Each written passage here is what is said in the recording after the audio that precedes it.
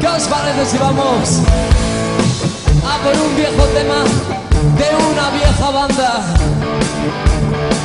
Me refiero a la autopista al infierno.